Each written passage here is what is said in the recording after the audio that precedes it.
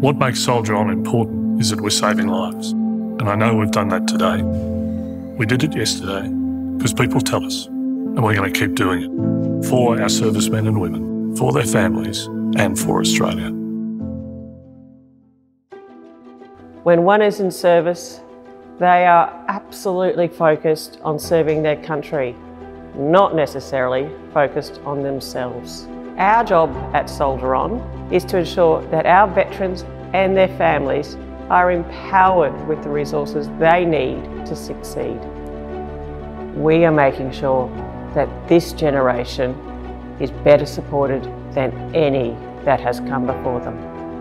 We've taken the conversation about service and sacrifice to the Australian population. And I think that's helped Australians understand what our servicemen and women go through. I hope it's helped them feel proud of them, but also to recognise that some of them are doing it pretty tough. These are good people and we need to support them. None of this support can be achieved alone.